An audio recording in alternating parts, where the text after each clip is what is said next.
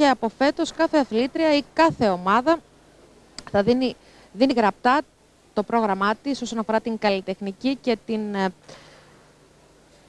τεχνική αξία στις κριτές και εκείνες τσεκάρουν τι από αυτά που έχουν δώσει γίνεται και βέβαια πώς γίνεται. Και περάσαμε στην Νέιντα Κρασνίκοβα από το Καζακστάν στο πρόγραμμα με τις ε, κορίνες.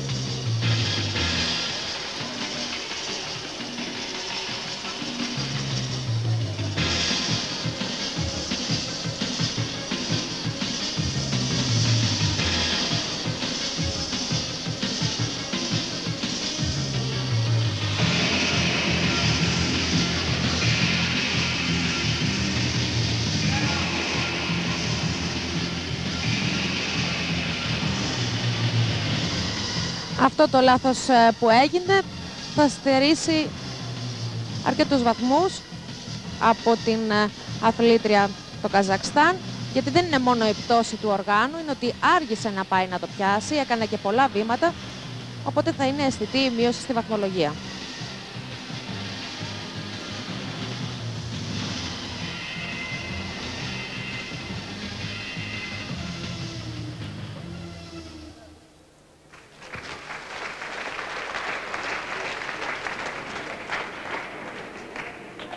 Αυτή λοιπόν ήταν ε, η Αιντά Κρανσνίκοβα από το Καζακστάν στο πρόγραμμα της ε, με τις κορίνες.